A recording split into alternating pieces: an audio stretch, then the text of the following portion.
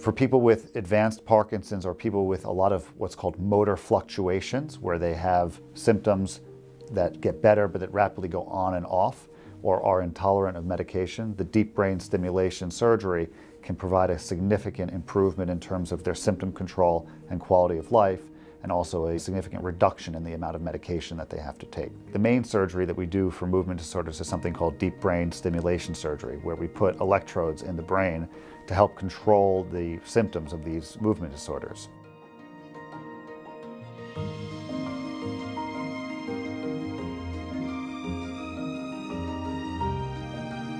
The patient we're meeting today is a man named William Bridges. He's a 58-year-old man with moderately advanced Parkinson's disease. Today we're going to first connect our programmer up to the batteries that are implanted just below the collarbone and then we're going to start testing each of those electrodes to provide him the stimulation that's going to give him the motor benefits. Today was a great day.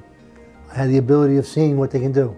I saw the results. When I met Dr. Weintraub, he had promised me that he could make a difference in my life, my wife's life my family's life. And now I can drive my cars and I can do different things that I couldn't have done before that I have this treatment. Parkinson's is a progressive disease. Deep brain stimulation helps with the symptoms of Parkinson's, but it doesn't cure the disease by any means. The DBS is going to help improve the quality of life and give him a renewed honeymoon period in terms of his Parkinson's. It was a very emotional time that I just had with the doctor when he showed me that the tremor would be gone and I could walk better I wouldn't need the medication. I knew that they could make a difference, but I was very unsure that they could make a difference.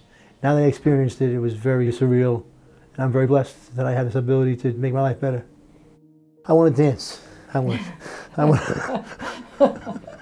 I want to dance my way through life.